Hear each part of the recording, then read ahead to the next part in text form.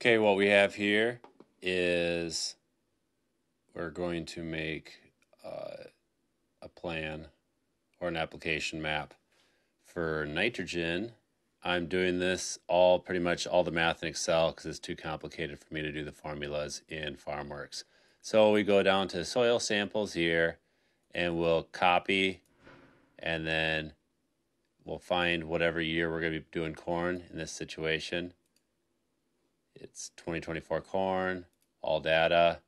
Well, here I already made one, so we'll just delete this one because I already made one. So here we are.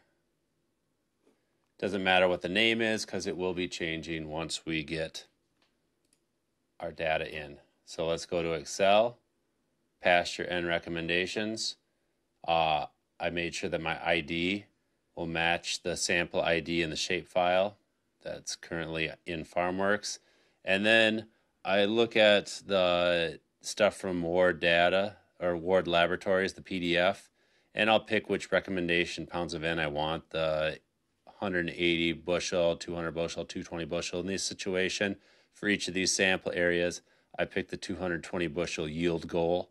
And so for sample ID 301, 220 bushel yield goal is 160 pounds of N, is their recommendation.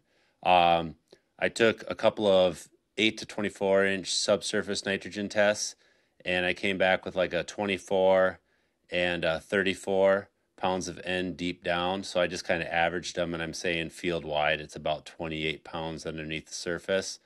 So I'm able to, as you can see here, subtract 28 pounds from the 160 to give me the net nitrogen per ounce per acre that we're looking for.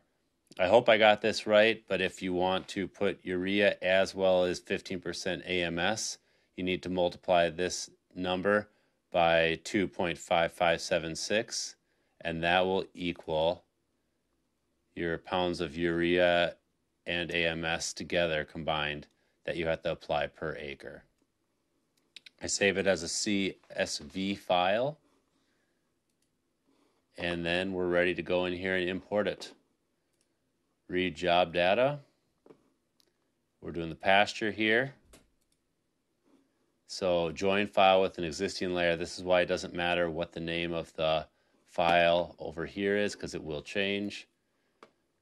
So let's go to Schley Real Estate, pasture 2024. Here it is.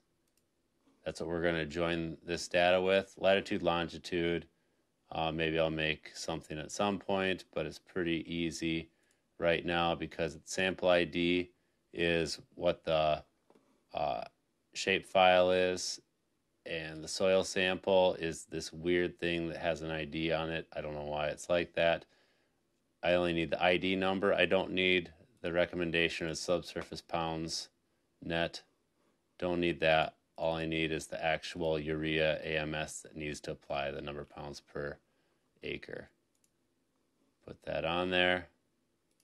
Let's change this to something better. Let's do pasture, urea, AMS. And then I don't know why, I guess I just do this sometimes. The multiplication factor that I have been using.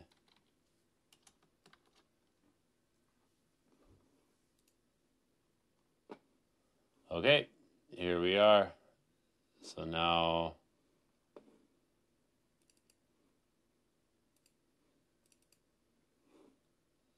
gotta delete it and reload it to get it on there. So there we got the sample IDs, but we also have the rates. Um, that's about the right radius. Let's make a grid.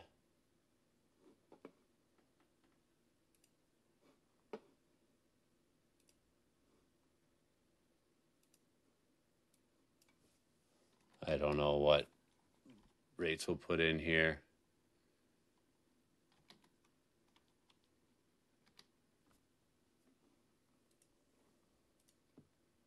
Yeah. Looks like we need to go higher.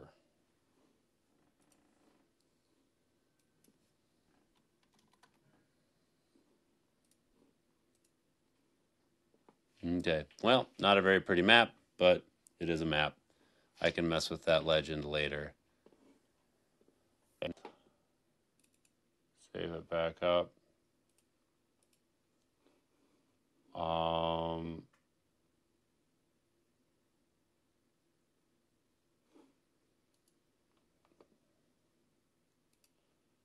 create a simple application. Here we go. This is where I want to put that application or the multiplication rate.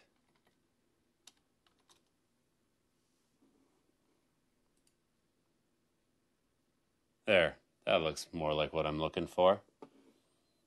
So we can save and close. There. Wait, which which one was it? There we go. That's what I'm looking for.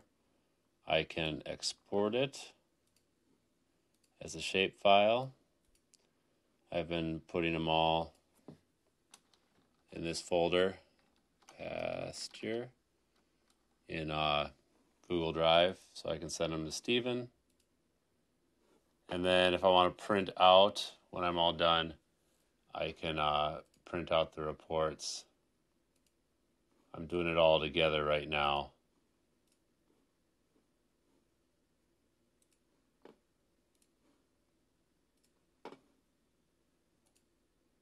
There we Let's print out all the reports.